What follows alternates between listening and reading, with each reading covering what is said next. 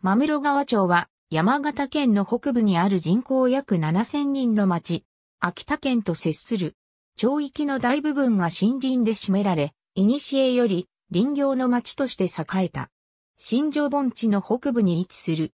町の西部から北部にかけ、出羽山地の山々が北東に大宇山脈のカムロ連峰が連なっており、平野部は酒川と真室川が合流する町南部に広がる。盆地特有の気候で1日の寒暖の差が大きく、また年間を通じ日照時間が短く冬季の降雪量が多い。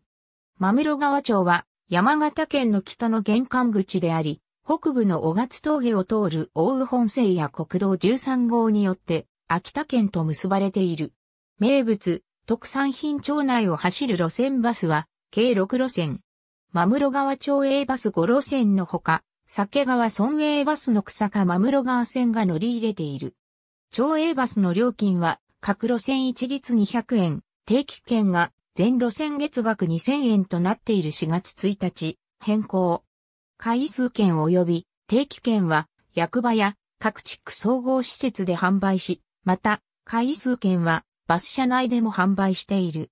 日曜、祝日、12月30日から1月3日は全路線が運休となる。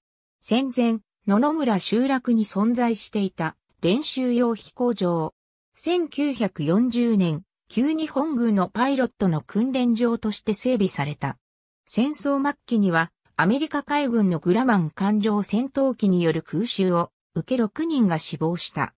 飛行場跡は現在、真室川総合運動公園や山形県立新城カムロ産業高等学校真室川校の敷地になっている。野々村のため池から鳥海山を望む酒の部城市。ありがとうございます。